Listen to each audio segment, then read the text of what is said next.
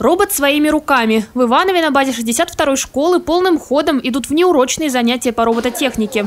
Изначально общий курс по изучению этой науки в тестовом режиме несколько лет назад освоили в ресурсном центре «Новация». Сейчас занятия по этой дисциплине в рамках программы дополнительного образования стали внедрять в детских образовательных учреждениях.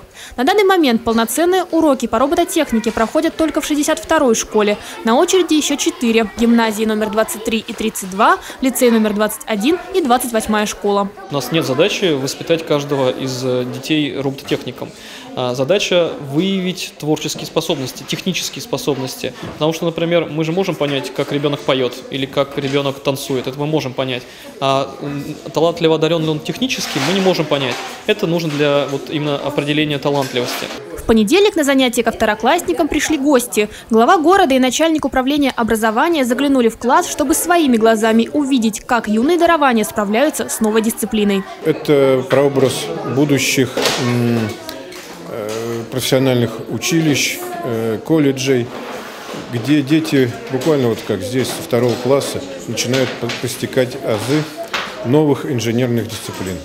Преподает робототехнику Алена Маркова, в прошлом учитель физкультуры и информатики. Она прошла переподготовку и повышение квалификации на базе новации и теперь делится полученными знаниями с учениками.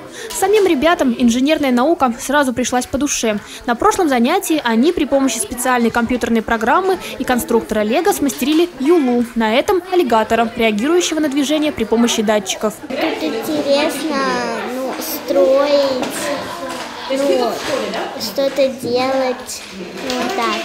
Сейчас... Чего? А что ваш аллигатор делает?